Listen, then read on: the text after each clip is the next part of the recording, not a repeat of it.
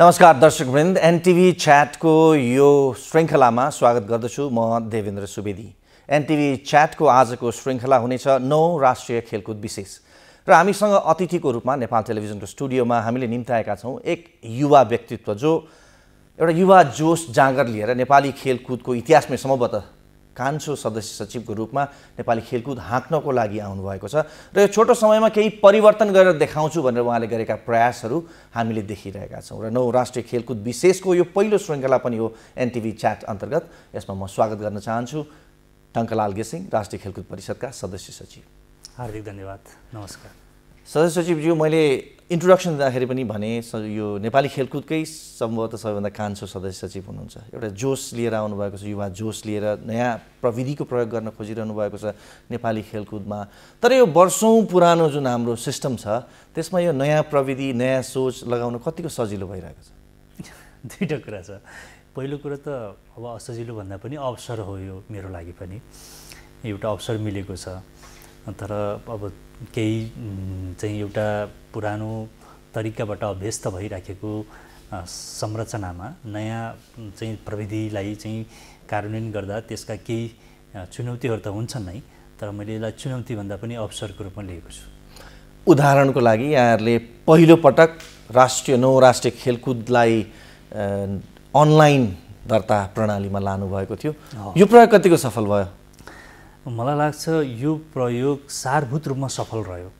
तर कतिपय सन्दर्भमा हामीले टिमलाई दिएको डेडलाइन छनौटका निमित्त र सबमिसनका निमित्त जो डेडलाइनहरू दिन्छ त्यो डेडलाइनहरूमा उहाँहरूले कार्य सम्पादन नगर्दाखेरि मात्रै समस्या भएको हो। अन्यथा यो चाहिँ सही नै भएको छ।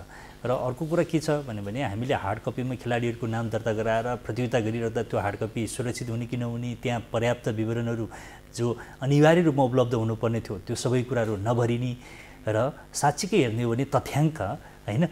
चाहिँ योभन्दा अगाडि विभिन्न राष्ट्रिय खेलकुद प्रतियोगितामा खेलेका खेलाडीहरू खेलगत रूपले को को थिए भनेर सबै खेलाडीहरूको नाम खोज्ने हो भने पाउन मुस्किल छ। तर अब नौदेखि त्यो कुरा सदाका लागि अन्त्य भएको छ कि सबै चिजहरू दस्तावेजीकरण भएर ठिक ढङ्गले डकुमेन्टेसन गर्न सकिने गरी त्यो प्रविधिलाई मैले अप्नाएको छु जसले साँच्चीकै लाग्छ हामीलाई हाम्रो सन्दर्भमा यहाँसम्म नौसम्म आइपुग्ने खेलाडीहरू हिजो कुन कुन प्रतियोगिता खेलेर आएको थिए उनीहरूको पर्फर्मेन्स ओभरअलमा के के थियो भन्नेसम्मको सबै डेटाहरू पारिवारिक चाहिँ पृष्ठभूमि के थियो खेलकुदको पृष्ठभूमि के थियो र यी सबै कुराहरूलाई चाहिँ समेटेर त्यो चाहिँ एउटा अनलाइन खेलाडीको दर्ताको प्रक्रियालाई व्यवस्थित गरेको छु। यसले सिङ्गो भोलि नेपाली खेलकुदको एउटा मोटो रणनीति निर्माणका निमित्त पनि एउटा ठुलो चाहिँ आधार यसले निर्माण गर्दछ। त्यसले एउटा फिडब्याकको रूपमा काम गर्दछ भन्ने मैले विश्वास लिएको अब यो एक्सेसेबल पनि हुने भयो डाटा पनि सुरक्षित रहने भयो तर कता कता यो हाम्रो सिस्टममा काम गर्दाखेरि हार्ड कपी त चाहिन्छ नै होइन। त्यसको पनि एक एउटा महत्त्व त छ नि। होइन हुनसक्छ तपाईँको कम्प्युटर हार्ड ड्राइभ क्रास भएर पनि त जान सक्छ कुनै समयमा। अब अब यो हार्ड ड्राइभमा भन्दा पनि अब यो त्योभन्दा अझ सुरक्षित ठाउँमा रहने भएको कारणले गर्दाखेरि यो सामान्य हार्ड ड्राइभमा मात्र हुने कुरा होइन। यहाँले सुरुवात गर्नुभएको यो नयाँ प्रविधिको सुरुवात नेपाली खेलकुदमा यो अहिले जस्तै खेलाडी रजिस्ट्रेसन गर्ने समय सिद्धिसकेको छ। तर पनि कम्प्लिटली यो प्रक्रिया पुरा भएको छैन यो कुनै सिस्टमको कारणले हो या अन्य कारणले गर्दा हो? होइन मूलभूत रूपमा यसको प्रक्रिया पुरा भएको छ तर कतिपय प्रदेश कतिपय टिमको कतिपय एउटा कुनै खेल विशेषको विभिन्न कारणवश छनौट प्रक्रिया ढिला हुन गएको हुनाले ती सबै टिमका होइनन् कतिपय टिमका कतिपय खेलका छनौट विविध कारणले हुन नसकेका कारण अर्थात् जसलाई कोही कतिपय त्यो खेलहरूको छनौट आज पनि हुँदैछ।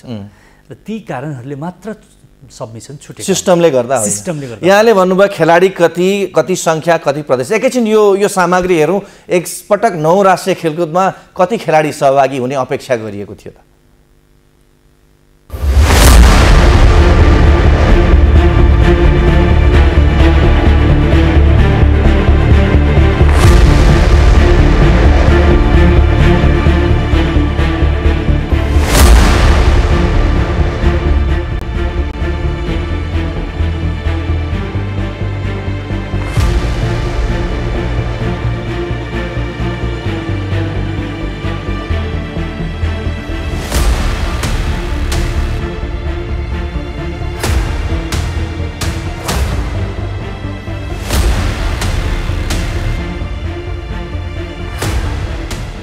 नवौं राष्ट्रिय खेलकुद दुई हजार उनासी पोखरा गण्डकी प्रदेश।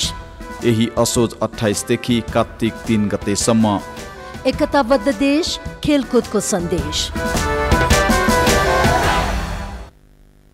हजुर एकताबद्ध देश खेलकुदको सन्देश हामीले यो सामग्रीमा पनि हेऱ्यौँ। यो करिब सात हजार खेलाडीको अपेक्षा गरेका थियौँ हामीले। आजको दिनमा आइपुग्दाखेरि यो अपेक्षाको कति नजिक पुग्छौँ हामी यसपटक? छ हजारको हाराहारीमा आजको दिनसम्म आइसकेको छ।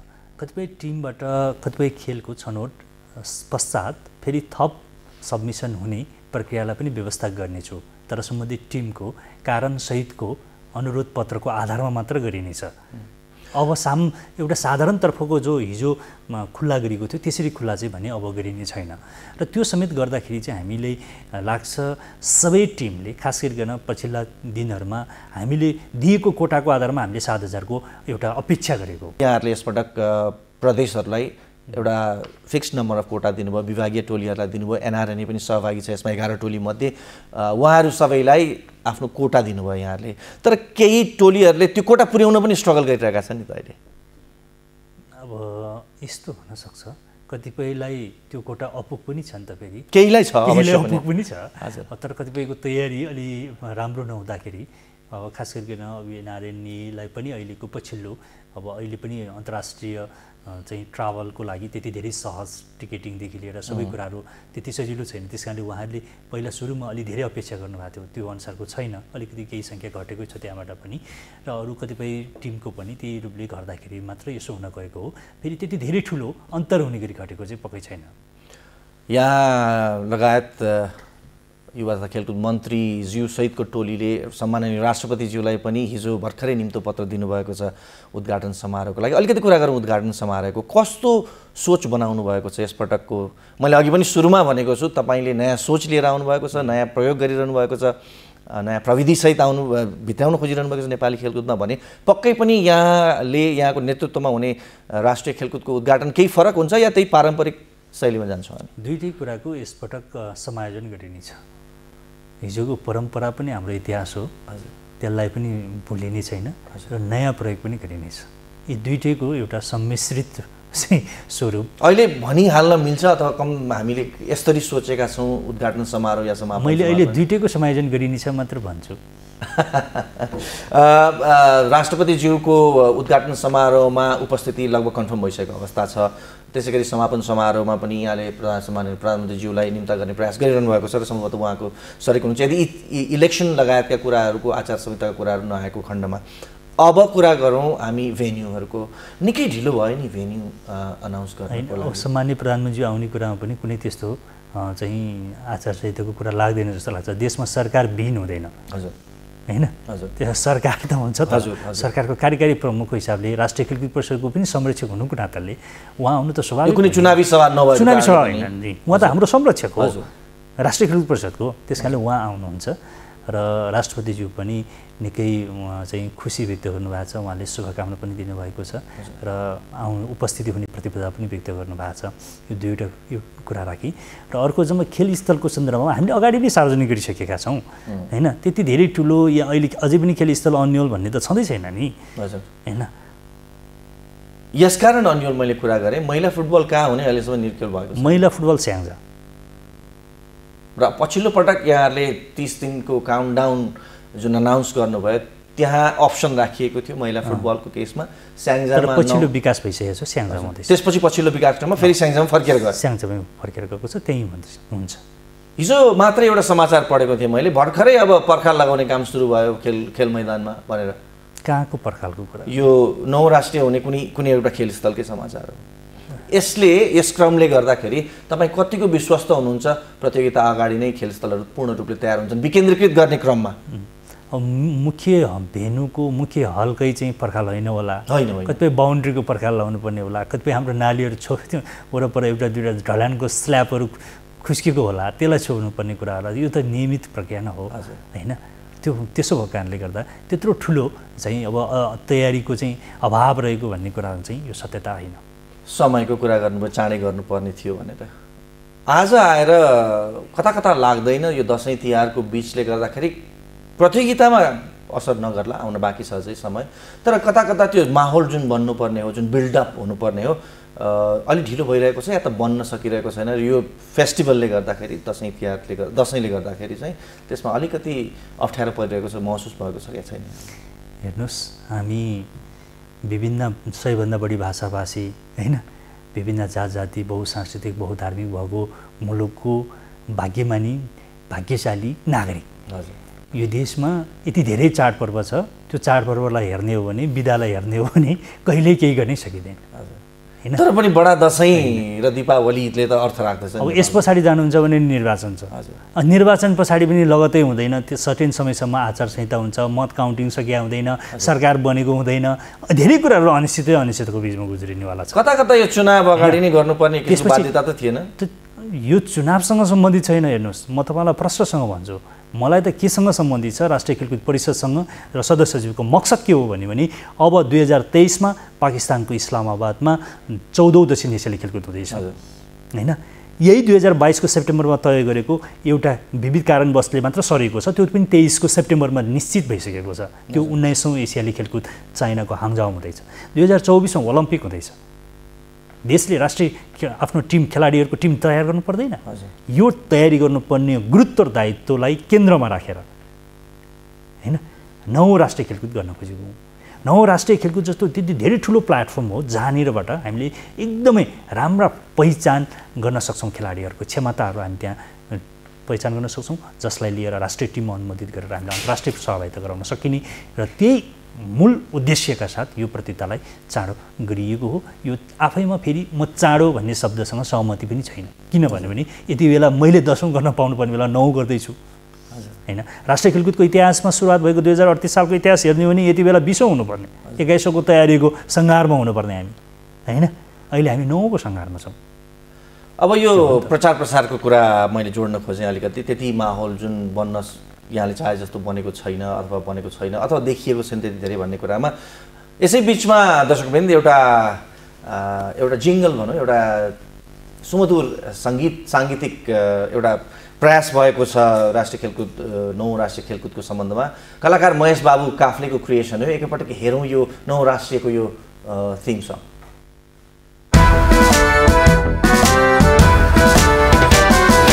चन्द्र सूर्य झन्डा मुनि यो रमाइलो मेला। उठ जाग लम्क चम्क यही हो तिम्रो बेला। सात प्रदेश सतहत्तर जिल्लाको यो साझा भेला।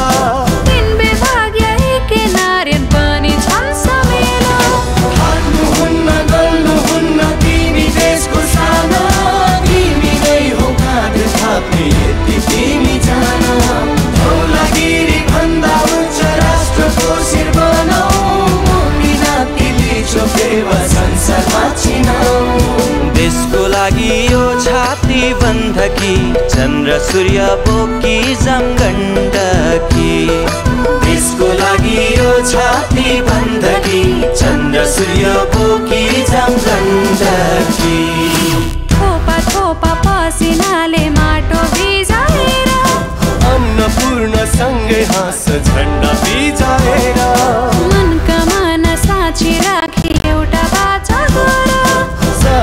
आफ्ना छैनन् पराई सिङ्गो नेपाल घर। देशको लागि यो छाती बन्धकी चन्द्र सूर्य बोकी जमगण्डकी। देशको लागि यो छाती बन्दकी चन्द्र सूर्य बोकी जमगण्डकी।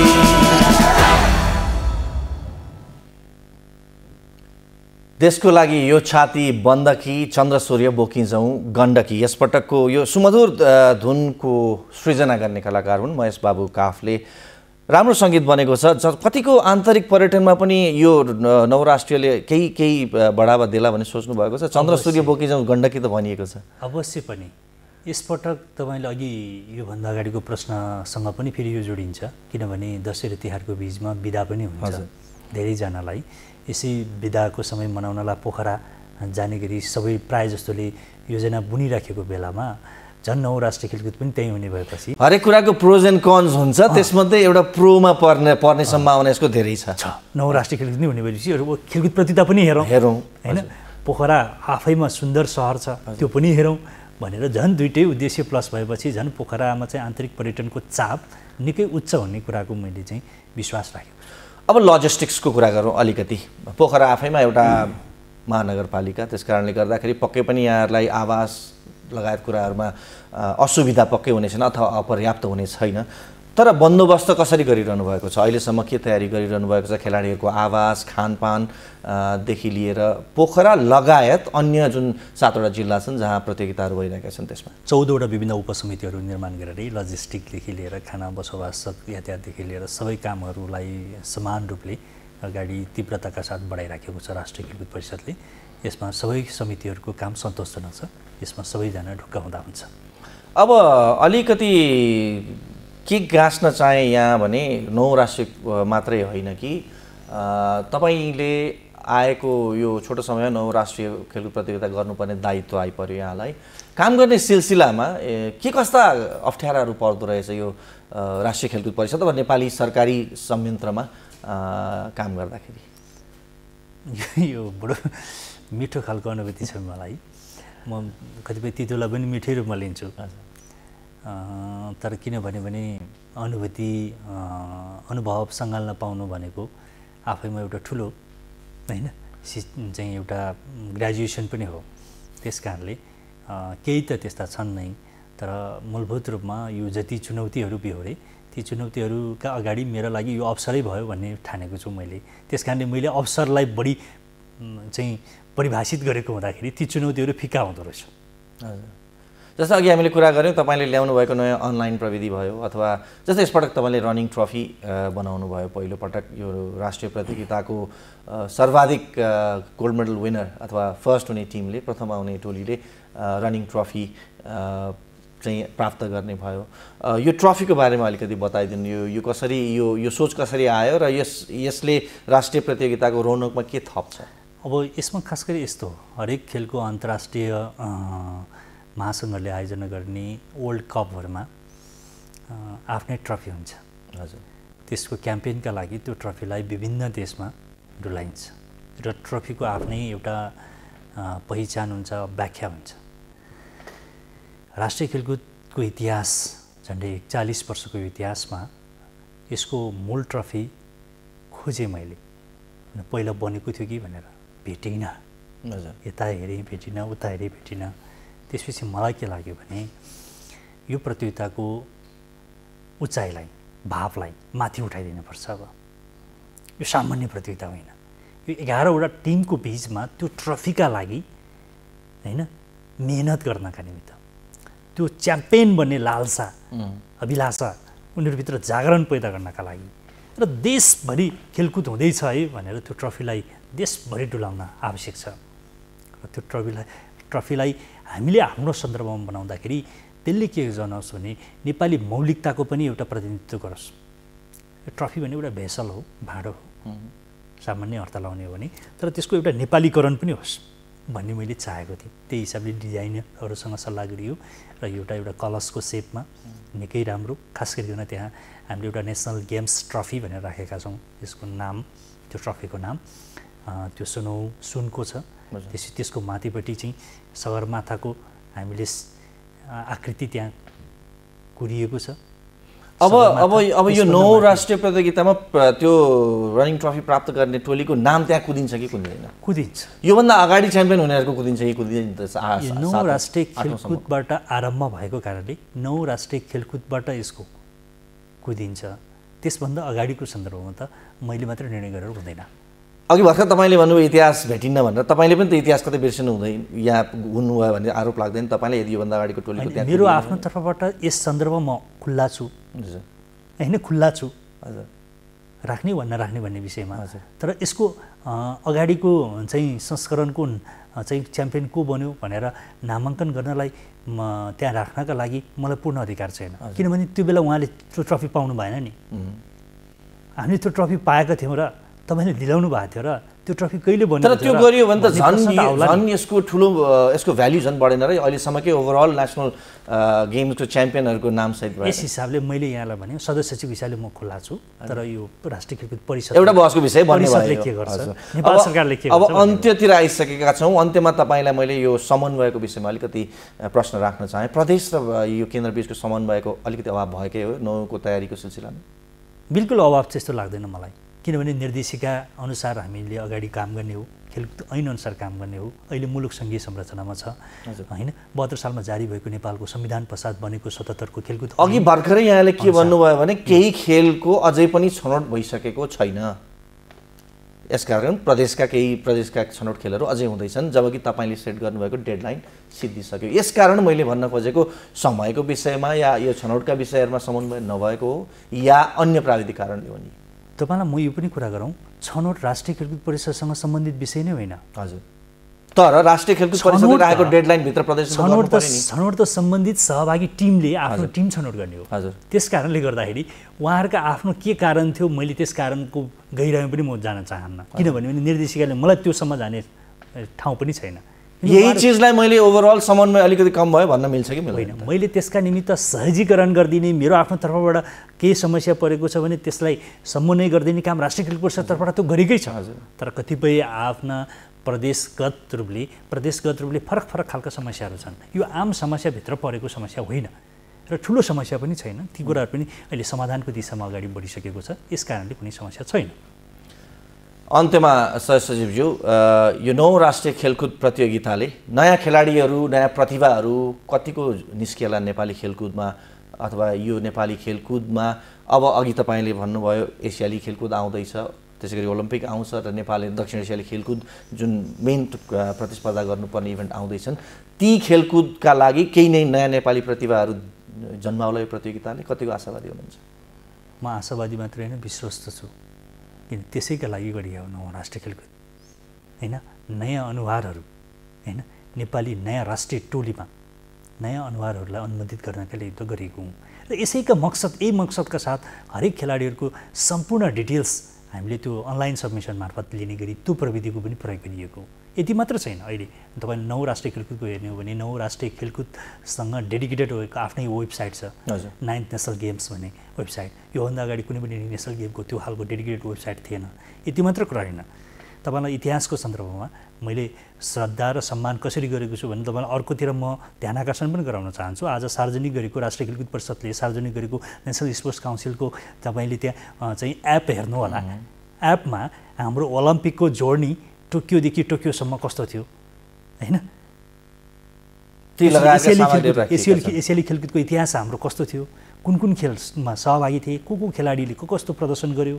दक्षिण एसियाली खेलकुदको इतिहास पहिलोदेखि तेह्रौँसम्म हाम्रो के के रह्यो? र राष्ट्रिय खेलकुदको इतिहास दुई हजार अडतिस सालमा पहिलो राष्ट्रिय खेलकुददेखि आज नौसम्म आइपुग्दाखेरि के के कुन कुन खेलहरू समावेश भएको थिए? कहाँ खेलाइएको थियो?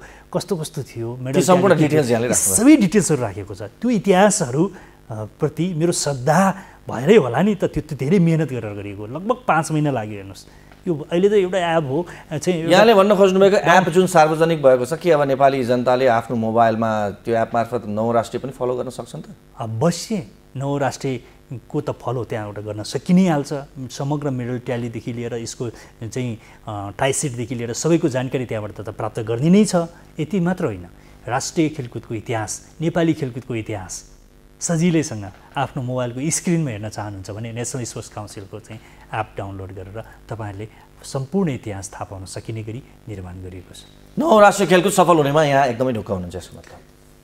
नौ राष्ट्रिय खेलकुद सबै प्रकारले। खेलाडीका लागि खेलकुद कर्मीका लागि यो सफल हुने कुरामा ढुक्क छौँ। खेलाडी र खेल खेलकुद कर्मीका लागि सफल भइसके पछाडि सिङ्गो देशवासीका लागि नागरिक लागि तिन करोड आम जनसङ्ख्याका लागि हाम्रो नेपा सबै नेपाली दाजुभाइ दिदीबहिनीहरूको लागि त यो उसै सफल हुने भइहाल्यो। धन्यवाद सदस्यज्यू आफ्नो एकदम व्यस्त समयका बावजुद हाम्रो स्टुडियोमा आएर समय दिनुभएको र आफ्नो विचार राखिदिनु भएकोमा नेपाल टेलिभिजनको तर्फबाट यहाँलाई विशेष धन्यवाद दिन चाहन्छु। दर्शकवृन्द एनटिभी च्याटको यो श्रृङ्खलामा यहाँलाई के पनि जानकारी गराउँ भने नेपाल टेलिभिजन र राष्ट्रिय खेलकुद परिषद बिच नौ राष्ट्रिय खेलकुदको प्रसारण सम्बन्धमा लिएर सम्झौता भइसकेको छ। यसकारण नेपाल टेलिभिजनले यहाँलाई सकेसम्म सम्पूर्ण खेलहरूको प्रत्यक्ष प्रसारण हाइलाइट्स र रेकर्डिङहरू हर सम्भव भएसम्म यहाँहरू समक्ष पुर्याउने प्रयास गर्नेछ। अन्त्यमा यहाँले केही भन्नु छ दर्शकहरूलाई आम जनताहरूलाई न- राष्ट्रिय खेलकुद नौ राष्ट्रिय खेलकुदको यो उत्साह यो मङ्ग यहाँहरू सबैको लागि हो। खेलाडी र खेलकुद कर्मीका लागि मात्र होइन। म सम्पूर्ण खेलाडीहरूलाई त शुभकामना छँदैछ मेरो। एघारैवटा टिमका लागि च्याम्पियन बन्न र त्यो नयाँ बनाएको यसपटकको रनिङ सिल होइन? चाहिँ हातमा पार्नका। लागि चाहिँ मिहिनेत गर्नु होला यहाँहरू एघारैवटा टिमलाई शुभकामना छ र एघारैवटा टिममा सहभागी सम्पूर्ण खेलाडीहरूलाई शुभकामना छ र सिङ्गो देशवासीलाई पनि यो राष्ट्रिय खेलकुदको यो पर्वलाई यहाँहरू सबैले नजिकबाट सकेसम्म सशरीर भौतिक रूपले नभए आफ्नो ठाउँबाट निहालेर यसलाई साथ समर्थन गरिदिनका निमित्त हार्दिक हार्दिक आग्रह गर्न चाहन्छु र कार्यक्रममा आएर आफ्नो केही विचारहरू पस्कने अवसर दिनुभयो। त्यसका लागि एनटिभी परिवारलाई धन्यवाद व्यक्त गर्न चाहन्छु।